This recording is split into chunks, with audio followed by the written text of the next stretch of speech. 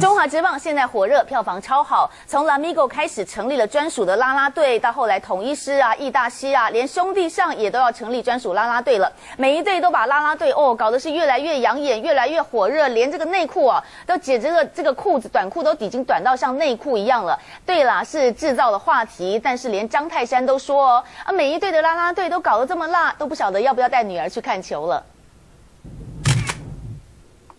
最新团体照热腾腾，刚曝光，队员穿上兄弟黄 T 恤，搭配白色短裙，手上更套上明星球员的背号护腕。这是兄弟向啦啦队，取名向阳 Girl，每一个不仅展现好身材外，也展现出青春洋溢的活力感，因为他们未来都要在主场场边帮自己的球队加油呐喊。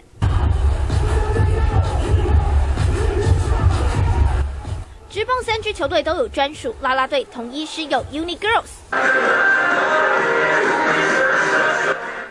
拉米 Go 桃园队也有拉米 Girls，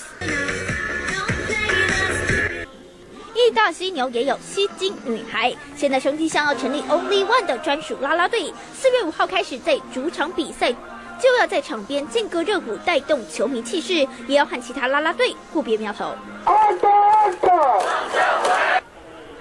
不过棒球是全民运动，辣妹拉拉队穿着太过火辣，露肚子、小蛮腰，犀牛拉拉队更是被说短裤就像小内裤，就连森林王子张泰山都在脸书上说，球场终究是亲子皆宜的地方，为了行销而祭出热裤和比基尼女郎，过于挑逗和性暗示的动作，就让他不知所措，不觉得该不该带可乐去球场看球。小孩子的教育方面的一些观感好像不太好。我觉得看年纪，我还好。对，因为就是稍大一点的小孩子还 OK 了。出阵不出阵，各球团拉拉队百变造型，场边替球团助阵，也要替自己吸人气。追击我侯俊伦，展示台北报道。